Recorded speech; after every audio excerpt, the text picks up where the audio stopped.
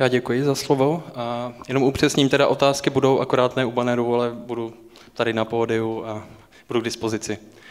A jinak děkuji, že jste si takhle v sobotu podvečer udělali čas. A určitě jste měli hromadu jiných aktivit, kterým jste mohli dát přednost. Já se vynasnažím, aby tato přednáška byla obohacující a abyste své volby nelitovali. Jenom se představím pár slov o mně. Jak víte, jmenuji se David Gardáš a v současnosti pracuji na pozici asistenta kampaně u organizace Svoboda zvířat. Ta pozice asistenta kampaně se dá přeložit jako taková holka pro všechno, ať už se týká mediálních vstupů, komunikace s politiky, získávání podpory od odborníků pro naši kampaň, až po prezentování na těch nejlepších akcích pro to nejlepší publikum. Takže děkuji, že jste tu. A když zrovna nebojí za práva zvířátek, tak se zajímám o cizí kultury a cizí jazyky, což mě původně zavedlo ke studiu čínštiny. A ačkoliv tahle mapa je uh, určitě informační a leco vám řekne, tak pro účely Vegan Festu mi přijde lepší tato. A, uh, ačkoliv je uh, čínská kultura velmi bohatá, čínská ekonomika perspektivní, tak mě postupem času začala fascinovat jedna konkrétní provincie a nakonec teda mé srdíčko získal Tibet. A mimochodem, tuhle vlaječku můžete v těchto dnech vidět napříč celou republikou. Je vystavená na radnicích, v tuším v osmistech městech, a to z toho důvodu, že zítra je výročí 60 let od potlačení tibetského národního povstání. Takže a to by bylo vše k tomu off-topic úvodu a nyní už se vrhneme na věc. Svoboda zvířat je celostátní organizace na ochranu zvířat a má sídlo v Praze. Byla založena v roce 1994 a to zničení nejstarší organizaci tohoto typu v České republice. Naším motem je, každý život má svou vlastní neopakovatelnou hodnotu. Jenom zdůrazním svou vlastní, což znamená, že ta hodnota zvířat se neodvíjí od toho, jakou jim přidá člověk, zdali vyhovuje parametrům eh, toho našeho vnímání, ale skutečně každý život má hodnotu sám o sobě. Máme velmi široké pole působnosti, ať už se to týká eh, bojování proti testování na zvířatech, proti kožešinovým farmám. Jak asi víte, tak na konci ledna se zavřela poslední kožešinová farma v České republice. Dále se zaměřujeme na ekovýchovu, rozdáváme informační brožurky do eh, škol a školek. Dále se zaměřujeme i na vegetariánství a veganství. A v neposlední řadě máme sekci na ochranu koček v Plzni. Nicméně ten hlavní důvod, proč jsem tu já a proč jste tu vy, je kampaň Cirkusy bez zvířat. Než se pustíme na samotnou kampaň, tak je asi na místě uvést něco o historii a pozadí cirkusu. Ty mají své počátky již v dávné antice, několik století před naším letopočtem. A nejznámějším místem, kde se odehrávaly eh, náboženské oslavy a hry, byl takzvaný Circus Maximus v Římě.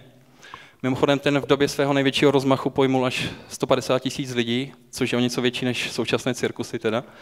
A dal se i zatopit vodou, odehrávaly se tam vodní bitvy a mnohé další záležitosti. Z této doby také pochází rčení uh, pánem et circensis. Jestli někdo mluví latinsky, tak se omlouvám, to úplně není uh, můj obor. A v češtině teda chléb a hry. Mimochodem v angličtině se stále ještě udržuje uh, rčení bread and circuses. Nejenom bread and games, ale zachovali se tam i ty cirkusy v tomto rčení.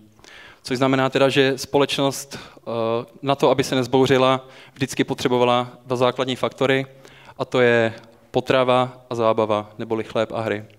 Co se týče cirkusu dnešního typu, tak ten vznikl v roce 1768 v Londýně. Eh, s tím, jak se cirkusy vyvíjely a získávali eh, čím dál více eh, zájemců, tak se zde objevovaly i čím dál bizarnější aktivity, které, kterými lákali diváky do svých, do svých ochozů. Takže v rámci cirkusu a veřejných představení v 18. a 9. až 20. století bylo možné eh, chodit na tzv. freak shows, kde se vyskytovali a kde se prezentovali lidé s různými anomáliemi, s postižením A zde na obrázku můžete vidět sestry Blaškovi, které ještě uh, siamská dvojčata, která vystupovala ve 20. letech ještě v Praze. Jinak se stala celosvětově známa a samozřejmě dnes by nám to přišlo naprosto amorální a neetické, nicméně i tomuhle se lidé veřejně chodili bavit.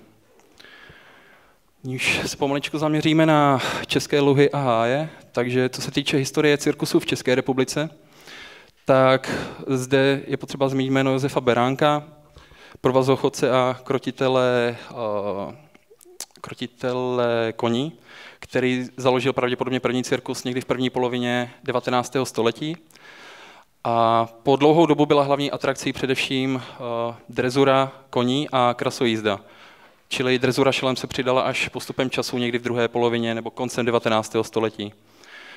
S tím, jak se cirkusy dostávaly do toho podhoubí české společnosti, tak čím dál větší uh, roli, respektive uh, se dostali natolik do toho sociokulturního kontextu, že zde máme i slavný, uh, slavnou knihu Cirkus Humberto, která následně byla i filmována v podobě uh, seriálu. A při pohledu na, na obal od knížky Eduard, Eduarda Base mě napadá, že bychom mohli vést i kampaň Cirkusy bez klaunů, protože jsou kolikrát tak, tak divocí a tak creepy, že uh, to dokáže leckoho odradit mnohem víc než ty zvířata samotná. Nicméně uh, samozřejmě je to pouze nadsázka, naopak si velmi vážím uh, klauna, člověka, který dokáže bez slova pobavit stovky lidí několika generací, což je samozřejmě vel, velký úspěch. Tohle už jsou cirkusy v dnešní době. Na levo je to z cirkusu Berousek, drezura slonu a napravo drezura medvědů v cirkusu Humberto. Jak vidíte, i když se společnost posunula, tak stále zde máme poněkud absurdní a řekl bych při nejmenším zbytečné aktivity, které si vyžadují držení zvířat v těch podmínkách, které si nezaslouží. Co se týče statistik, tak v České republice vycházíme z oznámení o konání veřejného vystoupení. Zde máme údaje za rok 2017, kdy jsme měli 21 cirkusů, z toho 15 z nich využívalo volně žijící neboli takzvané divoké zvířata, divoká zvířata. Celkem cirkusy v České republice mají zhruba 600 zvířat a z toho minimálně 130 jich bude volně žijících. Patří sem například eh, tygři lvy, zebry, medvědi, papoušci, ale i leguán, mýval a nosál. Mezi domestikovaná můžete vidět například psy, koně, poníci a výjimkou nejsou prasaty nebo kachny, takže prasata, pardon. A já si musím přiznat, že jsem úplně nevěděl, jak vypadá nosál, takže pokud je to někdo další z publika, tak, tak zhruba nějak takto. Co se týče samotné kampaně Cirkusy bez zvířat, tak ta začala v roce 2003 a jejím cílem je zákaz využívání alespoň všech volně žijících druhů zvířat v cirkusech. Tohoto cíle chceme dosáhnout prosazením legislativní změny v rámci zákona číslo 246 na ochranu zvířat proti týrání, kdy v tomto roce se chystá noveliza, noveliza, novelizace pardon, tohoto zákona. A prostředky, které volíme k dosažení tohoto cíle, eh, obsahují například osvětovou činnost, informační materiály, mediální pokrytí, podporu protestů a v neposlední řadě je to lobování neboli komunikace s politiky. Co se týče další legislativy, tak vedle toho zmíněného zákona číslo 246 je to ještě vyhláška číslo 346 o stanovení blížších podmínek chovu a drezury zvířat. Zde stojí za zmínku to, že eh, neobsahuje všechny zvířata, která se v cirkusech vyskytují, takže tam například nenajdete podmínky, eh, s jakými můžete držet krokodýly v cirkusech, což je poněkud zvláštní. A pak jsou zde i další předpisy, například týkající se svody svodu a přepravy zvířat. Zvláštní ochranu si pak žádají druhy, které jsou chráněné eh, podle CITESu, což je Mezinárodní umluva na ochranu exotických živočichů a rostlin.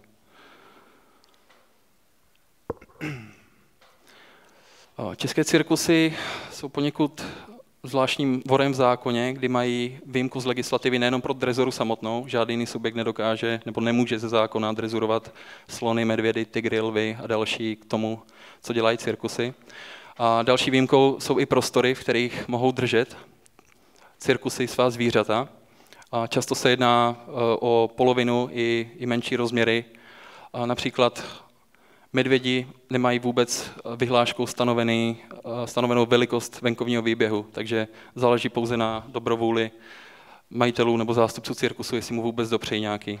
Pak je tu i zmíněna možnost koupání, zatímco v soukromých chovech a zoologických zahradách jsou tyto jsou vyžadovány možnosti koupání pro, pro tyto tvory, tak v cirkusech je to pouze dvakrát měsíčně možnost koupání. V případě, že teploty jsou vyšší než 25 stupňů, tak alespoň dvakrát týdně. To znamená, že dvě minuty osprchují medvěda, tím, vlastně hasne, jako, že mu dopřejí, dopřejí nějaký komfort. Jak jsem říkal, kampaň Cirkusy bez zvířat začala již v roce 2003 a hned následující rok se podařilo svobodě zvířat prosadit alespoň částečnou změnu. Ta se týká nově narozených jedinců primátů a dalších druhů, hrochů, nosorožců, ploutvonožců, žiraf, takže tyto obrázky už v českých cirkusech neuvidíte. Nicméně, tím se dostáváme, proč vůbec bojovat o to, aby zvířata nebyla v cirkusech.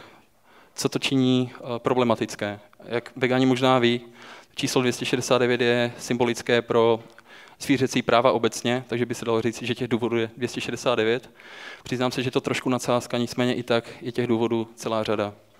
Prvním z nich jsou minimální prostory, kdy zvířata v cirkusech, vzhledem tomu, že se jedná o kočovnou instituci, která neustále brázdí republiku, tak nemohou zajistit permanentní, plně vybavené výběhy, jako například zoologických, nebo o, obecně musí držet v takovýchto podmínkách. Další jsou potom transporty, kdy i několikrát do měsíce nadspou tyto zvířata do kamionů a jezdí až desítky až stovky kilometrů na další štace. Pak to jsou jasná světla a hluk, který v manéži musí snášet tato zvířata během každých představení i, i během tréninku, údajně, aby se na to navykla. Pak je to i odebírání mláďat, například u těch kočkovitých šelem je to z toho důvodu, aby si více zvykla na, na své cvičitele a vytvořila si pevnější pouto, aby následně mohli vykonávat to, co je po nich požadováno v rámci vystoupení. A s tím souvisí vlastně i další nerespektování sociálních potřeb, kdy tygři jsou drženi eh, ve skupinách, zatímco ve volné přírodě se jedná o jednotlivá zvířata, která jsou samotářská. Pak je to samozřejmě drezura samotná, kdy zvířata nutíme dělat věci, které naprosto odporují jejich povaze, čistě pro pobavení publika a pro generování profitu majitelů cirkusu. Dalším je bezpečnost zvířat.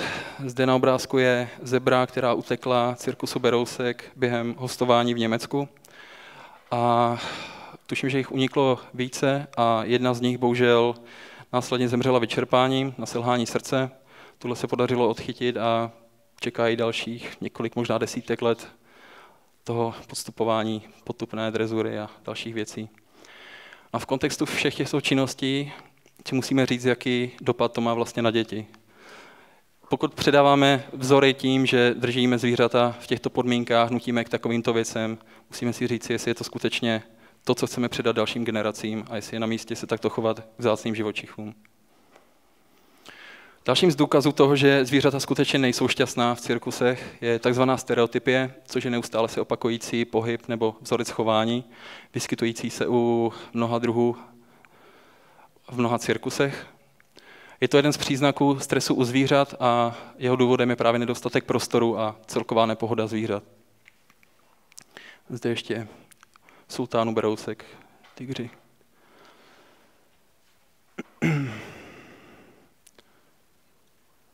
Nevím, nakolik z vás zná Gary Jurovského. Může když tak, jo, může se přihlásit ten, kdo ho nezná? Gary Jurovský.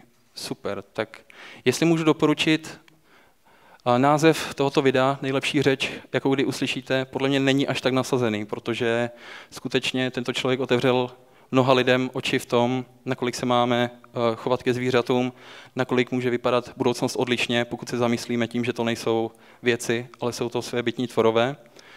A Gary jako aktivista za práva zvířat eh, v Q&A v otázkách a odpovědích k tomuto videu zmínil, že to, co ho nasměrovalo na jeho životní dráhu, byla právě návštěva zákulisí cirkusu.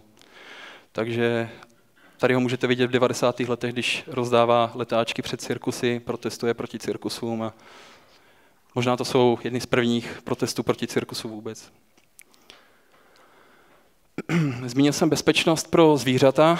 Na těchto grafech můžete vidět dopady bezpečnosti pro lidi, kteří přicházejí do styku se zvířaty. Celkově v letech 95 až 2017 bylo uh, v Evropské unii 305 incidentů s více než 600 zvířaty. Nejvíce jich má na svědomí tygr a nejvíce smrtelných úrazů potom slon, kdy to je tuším nějakých 8 zabitých lidí v průběhu této doby. Zvláštní kategorii jsou potom velbloudovití, kteří mají na svědomí nějakých 80 incidentů a měli bychom se teda zeptat, co, co dokáže takový velbloud, pokud se mu něco nelíbí. Což mě osobně teda taky překvapilo, že prostě neštvát velbloudy, pokud možno. No. A teď se podíváme na jistá bezpečnostní rizika z českých cirkusů, kdy se samozřejmě docházelo k různým incidentům v posledních letech. Ten poslední mě teda taky fascinuje. Když mě tygr z lásky kousl do hlavy, lidi ječili a prchali. Jako když vás z lásky kousne tygr, tak věřím, že hřbitovy jsou plné lidí, které z lásky kousl tygr do hlavy. No, to by si principálně mohl uvědomit, že možná riskuje nejenom svůj život, ale i životy dalších, eh, ať už zaměstnanců cirkusu, po případě veřejnosti. Eh, zde vidíme takový neduch, který se nám rozmohl v posledních letech v České republice a tím je venčení slonu. Zde je cirkus Humberto, který v jednom z měst, dělal to opakovaně ve více městech, Přerově za to dostal pokutu 6 000 korun. A asi si nevědomují, že se jedná o pětitunová zvířata, která v momentě, kdy naštvete, tak jsou prostě nepříčetná a můžete ty jejich pudy snažit krotit sebe více, ale jednoduše se může stát, že si vzpomene na to, jak žil po miliony let předtím, než byl uvězněn a, a držen v zajetí. Další ještě, co se týče bezpečnosti pro zvířata, tak je konkrétní případ uh, Lachtana Logena z cirkusu Prince, který byl převážen ve vysokých vedrech uh, v červnu 2014 a tento převoz nepřežil. Nicméně podle státní veterinární zprávy není žádný problém, neschledali nic problematického. Tím se dostáváme i ke kontrolám cirkusu. Ty provádí krajská veterinární zpráva a to na základě eh, oznámení o konání veřejného vystoupení. Tato kontrola je vždy plánovaná a předem se oznamuje pouze v případě, že je nějaký podnět vznější, například na týrání zvířat nebo eh, na to, že návštěvník cirkusu shledal nějaké problémy, tak v tom případě potom eh, KVSK přijde a může se podívat i mimo tento stanovený termín. Třeba zimoviště, kde cirkusy tráví svůj čas mimo sezónu, se navštěvují pouze jednou za dva roky, což je minimálně nedostatečné, spíše je to výsměch tomu, nakolik se dodržuje ta legislativa. Mezi časté závady patří například chybějící venkovní výběh a zástupci cirkusu se odvolávají na to, že nebyla možnost postavit eh, tento výběh z toho důvodu, že tam byla například vysoká tráva, byl tam sníh, sklo nebo jiný nepořádek, tak prostě po dobu toho, když ho stojí na jednom místě, tak se prostě rozhodnou ten výběh tomu zvířeti nedopřát a s trochu štěstí mohu dopřejít třeba na dalším, ale kdo ví, že ano.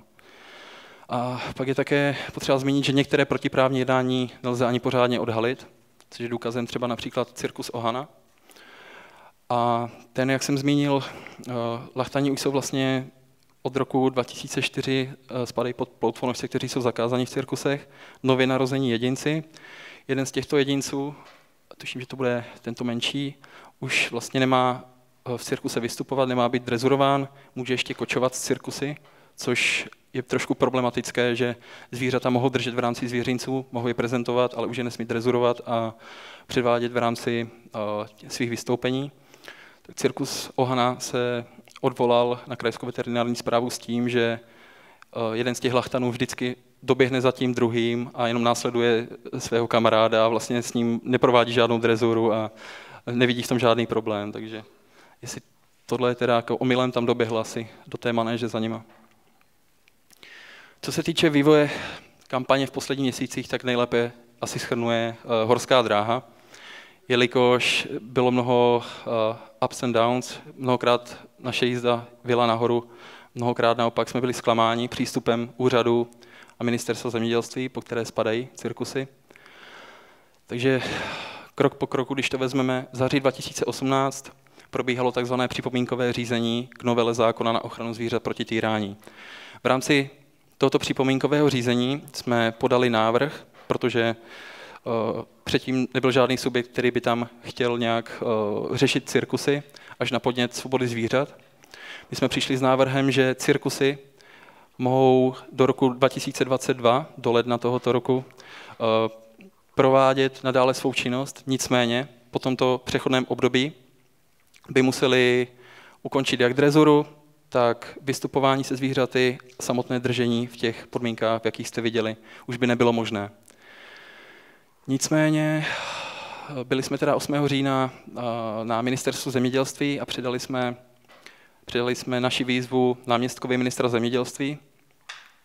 Nutno podotknout, že toto přijetí bylo spíše chladné a určitě měli jiné starosti na práci, nebo minimálně tak pan náměstek působil, že, že ho zdržujeme od něčeho důležitějšího. I přesto všechno 19. října, světe div se, ministerstvo zemědělství vydalo zprávu, že přijde s plošným zákazem zvířat v cirkusech, což teda bylo překvapení, o, tuším, že jak pro aktivisty, tak pro zástupce a majitele cirkusu. O necelý týden později přišla zpráva z ministerstva zemědělství, že založí pracovní skupinu, kam měli pozvat údajné odborníky a zatímco svoboda zvířat pozvána nebyla, tak zástupci cirkusu ano což je poněkud problematické z důvodu střetu zájmu, což je nám asi jasné. V listopadu pak naopak byly největší protesty napříč celou republikou. Ještě vidíte fotografie, nějakou dokumentaci z těchto protestů. A veřejnost tak jasně dala najevo, že tento problém jim není lhostejný, že lidi zajímá to, co se děje se zvířaty v cirkusu a nadále to nechtějí podporovat. V lednu 2019 vyšla zpráva z ministerstva zemědělství, že údajně navrhnou pouze licencování cirkusu, což by obnášelo to, že by na trhu toho cirkusového průmyslu zůstaly jenom některé subjekty a zbytek by nesplňoval kritéria vydaná těmito licencemi, což ovšem nějak neřeší podstatu problému. Stále by to byly cirkusy, bylo by jich méně, těch zvířat držených cirkusy by bylo méně, ale stále by to byla a stále by docházelo těm negativním jevům. Taková pozitivní perlička z minulého měsíce je to, že Znojmo se rozhodlo nepronajímat své pozemky cirkusům. Nutno podotknout ale, že cirkusy nadále mohou využívat pozemky soukromých subjektů, pokud se s nimi domluví. V současnosti toto úterý jsme spustili informační sérii Mýty a fakta na sociálních sítích, kde se snažíme uvádět na pravou míru lži, polopravdy a mýty, které se vyrojily na naši adresu, a to nejenom adresu kampaně Cirkusy bez zvířat, ale svobody zvířat a aktivistů obecně. A vlastně snažíme se nějak konfrontovat a uvádět ty fakta vlastně. Tady vidíte legislativní proces, neočekávám, že na to uvidíte a tušíte, co tam je, nicméně jde to od dola nahoru a v současnosti jsme teprve tady. Takže samotný boj, co se týče prosazení té novely, teprve začíná. Rozhodně není uh, nic u konce a to, že ministerstvo zemědělství jako jeden subjekt nenavrhne plošný zákaz, ještě neznamená, že se to nedá prosadit přes vládu, poslance, poslanecké kluby a další subjekty ve vládě. Tady je to o něco čitelněji a detailněji. Podle všeho nás v Dubnu čeká první čtení v poslanecké sněmovně, to znamená, že se poslanci poprvé budou zabývat novelou zákona na ochranu zvířat proti týrání na své půdě. Eh, tam se neočekává, že by novela prošla, eh, bylo by to, údajně je to vzácné u těch zákonů z 90. let, že se tam neustále musí doplňovat další a další pozměňovací návrhy v rámci druhého čtení. To může proběhnout až tři měsíce po prvním čtení a teď otázka, jestli to stihnou do prázdnin. Pokud ne, tak by to bylo až někdy v září a říjnu. A následné třetí čtení, kde už se dá očekávat prosazení finální verze, by bylo za další tři měsíce, tudíž až možná na konci tohoto roku. Takže je to ještě dlouhá cesta, která vede k tomu, aby jsme dostali zvířátka z cirkusu, když to řeknu takhle. A následně je potom ještě potřeba schválit zákon senátem, když se to všechno podaří, tak pan prezident Milošek by nám mohl podepsat ten zákon. A postoj veřejnosti určitě zajímá, jak se k tomu vlastně staví širší veřejnost. Dělali jsme si průzkum veřejného mínění v září minulého roku, z kterého jasně vyšlo najevo, že 74% občanů odmítá zákaz nebo odmítá využívání divokých zvířat v cirkusech a tuším 35% z celkového počtu je pro zákaz všech zvířat v cirkuse, nejenom těch volně žijících druhů, ale i těch domestikovaných. Za dobu fungování kampaně se nám podařila získat podpora od mnoha odborníků, ať už eh, zoologů, veterinářů a lidé zabývajících se touto problematikou. Za zmínku stojí například pan profesor Zdeněk Notek, který měl tuším přednášku minulý týden na Vegan Festu. Pak pan profesor Stanislav Komárek z Přírodovědecké fakulty na Karlově univerzitě. Je to celá řada osobností, veterinářů a nutno podotknout,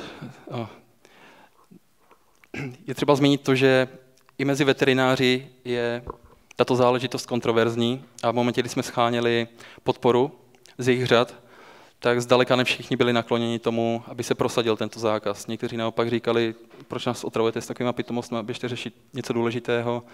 Pak tam byly i bizarnější věci, jako to, že aktivisté můžou za kupírování uší u zvířat a vlastně cokoliv negativního se dá najít, tak, tak nám nějak házeli za vinu. A to je vlastně úděl lidí, kteří se zabývají nějakou problematikou, tak jsou vždycky vystaveni tomu, proč neřešíte to a ono, je tolik problémů. Proč bychom vlastně měli řešit zvířata, když trpí i lidé, že jo? To si můžeme položit tuto otázku. Určitě se snažíme o aktivizaci veřejnosti. Například na Facebooku máme skupinu celoroční protesty za cirkusy bez zvířat, kde lidé mohou ve svých městech a obcích pořádat a organizovat protesty za tímto účelem. V minulém roce se odehrály eh, desítky protestů a více než 15 lidí se zúčastnilo těchto protestů. Přes 900 lidí se zapojilo do naší fotokampaně. Původně jsem tam měl video, které jsem vám chtěl ukázat, ale technika nějak protestovala, takže si musíte asi domyslet lidi s cedulkami, chceme cirkusy bez zvířat a krát 900, 900 jedinců. Petiční místa po celé České republice se nám povedlo zajistit a díky tomu máme v současnosti na 20 000 podpisů. Tady je potřeba taky uh, uvést to, že neexistuje nějaký právně stanovený limit množství pod peticí, které bychom měli získat. Nicméně platí pravidlo, čím více, tím lépe. Skutečně pokud se nám podaří získat do třetího čtení 30, 40, možná 50 tisíc podpisů, ukáže to politikům, že veřejnosti není toto téma lhostejné a že je potřeba ho prosadit. Zde vidíte ty slibované fotografie eh, z několika protestů, ať už před cirkusy, potom ve městech. A je skutečně zajímavé, nakolik to dokáže vyvolat reakce lidí, kteří jdou do, do těch cirkusů. Mnozí si rozmyslí svou návštěvu. I když tam jdou s dětmi, tak si najednou uvědomí, dobře, asi je to v něčem problematické, najdeme jinou zábavu na sobotní nebo nedělní odpoledne. Zatím největší protesty se odehrály 21. listopadu, a to v Praze, v Brně a Olomouci. Zde je fotografie z pražské akce, na které bylo zhruba 300-400 lidí s transparenty a byli jsme hlasití, dali jsme o sobě vědět a i média si to všimli. A obecně v tom říjnu a listopadu skutečně naše téma rezonovalo v médiích, což vlastně pro člověka, který nastoupil do svobody zvířat v říjnu, bylo trošku takové dítě hozené do vody a naučí se plavat, ale o tom to je. Co se týče ostatních zemí, tak samozřejmě Česká republika není ve snaze prosadit tento zákon a zákaz osamocena. Máme zde více než 40 zemí na třech kontinentech. Mimo Evropu se týká například Bolívie, Mexika, Izraele, Indie, Singapuru. V USA je to řešeno spíše lokálně a zákaz tam má více než 70 měst a okresů. Nově v roce 2018 se přidali i celé státy, New Jersey, Hawaii a v současnosti se to řeší v Kalifornii. Pokud by se to podařilo prosadit v Kalifornii jako v nejlidnatější a na nejbohatší zemi Spojených států, tak by to mohlo mít i dominový efekt, že by se přidávali další a vlastně ukázalo to i celému světu, eh, jak se věci mají a že je potřeba zakročit.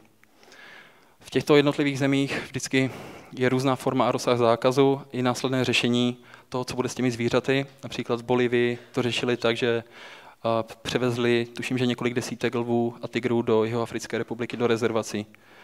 Což by bylo hezké z České republiky, z těch velmi nevyhovujících a problematických chovů, ale obávám se, že k tomu asi nebude vůle a otázka finančních prostředků a dalších věcí. Co se týče Evropy, která nás zajímá asi nejvíce, tak úplný zákaz už má celkem 15 států a dvě třetiny Evropy má alespoň nějaké řešení této problematiky. A v Německu, Francii a Španělsku jsou to lokální zákazy, kdy si jednotlivá města a okresy vybírají, jestli dovolí cirkusům působit na svém území nebo ne.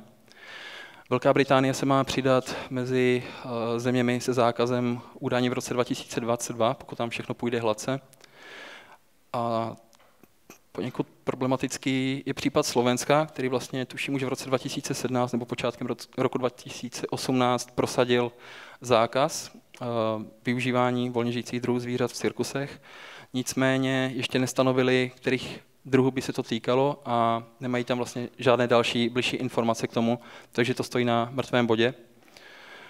A otázka, nakolik se to tedy pohne. Nicméně uh, na Slovensku vlastně nejsou ani úředně vedené, nemají tam sídlo žádné cirkusy a většina jich tam jezdí právě z České republiky.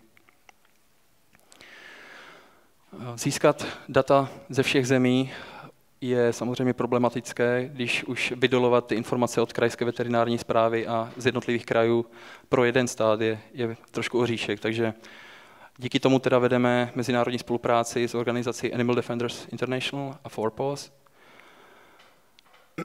A teď už by byl i apel na vás. Samozřejmě my jsme sice v první linii, snažíme se komunikovat ať už v médiích nebo z politiky, nicméně bez pomoci každého jednoho z vás se nemůže tato akce eh, dobrat svého úspěšného konce. Tudíž to nejdůležitější, co, co můžete v současnosti dělat, je sběr podpisů pod petici a zakládání nových petičních míst.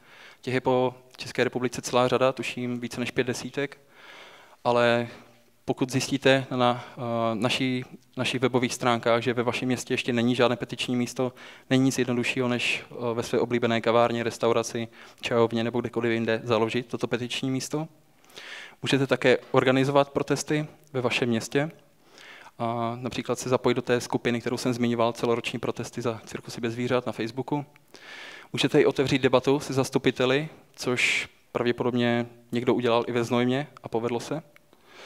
Můžete být i aktivní na sociálních sítích, což je eh, výzva, kterou asi můžu zdůraznit, protože nikdo asi nemá tak, tak aktivní hejtry jako právě eh, zvířecí organizace nebo organizace za práva zvířat.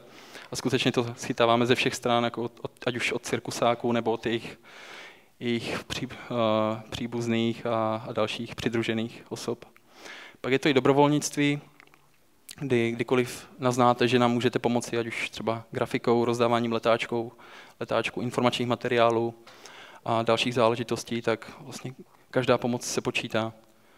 V neposlední řadě je to pak finanční podpora, neboť žijeme pouze z dobrovolných příspěvků a od státu nemáme ani korunu. Takže a v tento moment si můžete položit otázku, dobře, cirkusy budou bez zvířat, jak budou teda vypadat, co tam bude a kdo tam bude vystupovat.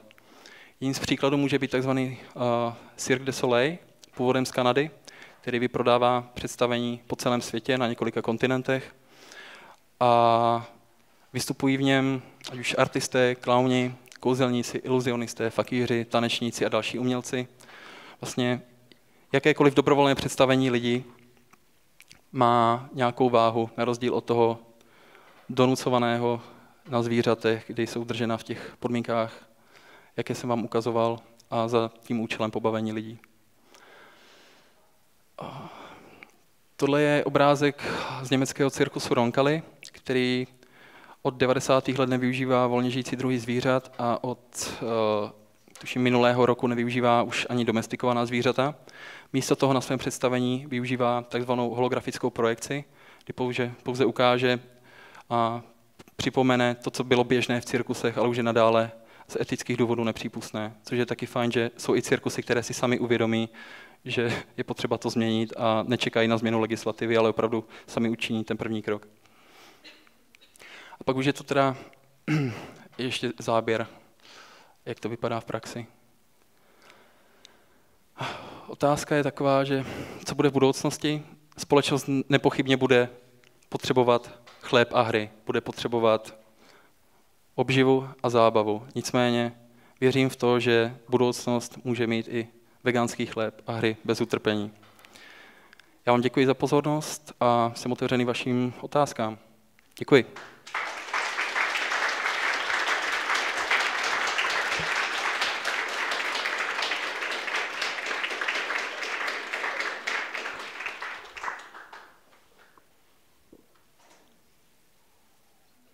Tak ma... Jestli máte dotaz, tak se přihlašte. Hlaste se všichni.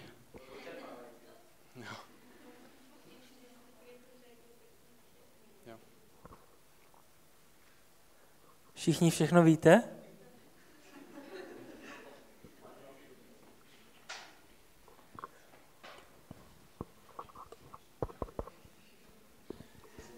Díky za prezentaci, abych vás v tom nenechal bez dotazu. Děkuji. Mě by třeba zajímalo, a když už projde ten zákon, že se mm, na území státu zakážou cirkusům používat zvířata, co to obnáší pro majitele těch cirkusů a co to obnáší pro ten cirkus samotný. Co musí podstoupit, aby tady tenhle ten zákon jakoby vzali v potaz. Budou nějakým způsobem například odškodnění, stát jim poskytne dotace pro to, aby se zbavili těch eh, zvířat, aby je, eh, pardon, aby je transportovali někde nebo něco takového. Jakým způsobem to funguje v praxi? Všechny tyto otázky jsou ještě v jednání a bude to vlastně výsledkem toho legislativního procesu, kdy Vlastně my v tom původním návrhu bylo pouze stanoveno přechodné období a pokud po něm dokážou cirkusy zajistit podmínky, jako jsou v moderních zoologických zahradách, tak si můžou ta zvířata ponechat. Třeba i z toho důvodu, že věřím, že u některých cirkusů a cvičitelů si vybudovali vztah s těmi zvířaty. Takže by bylo, mm, bylo by neefektivní jim odebírat ta zvířata a na silu je dávat někam jinam, v momentě, kdy už, kdy už mají nějaké vazby na své cvičitele. Eh, jak jsi zmínil, ten převoz, to je jedna z možností, kdy pokud by nebyly teda cirkusy schopny zajistit ty podmínky, tak by byly umístěny do specializovaných středisek a azylů napříč Evropou. A ještě ve světle událostí posledních dní, kdy vlastně ve Zděchově napadl lev majitele, zabil ho, následně museli být obalvy eh, zastřeleni, tak to dokazuje to, že v České republice opravdu bolestně chybí nějaký azyl, kam by byly umístěvány tito tvorové z nevodných chovů, po případě i z cirkusu. Takže je to jedna z možností, že by vzniklo takové, taková instituce i na našem území a tam by byly umístěny případně.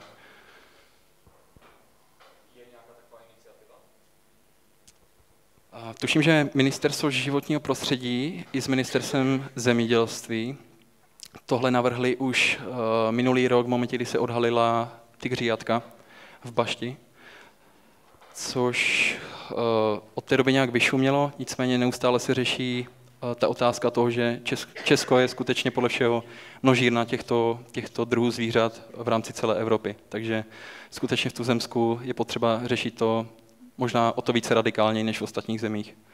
A doufám, že tam teda ta vůle ministerstva zemědělství bude.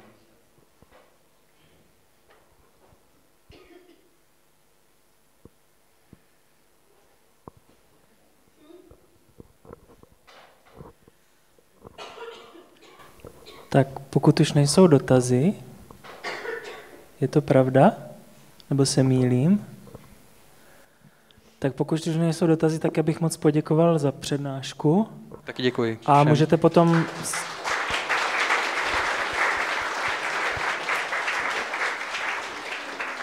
A můžete potom s těma konkrétníma dotazama, jestli máte něco hlubšího nebo tak, tak směřovat na ten stánek, který tam je. Jo? Takže díky moc.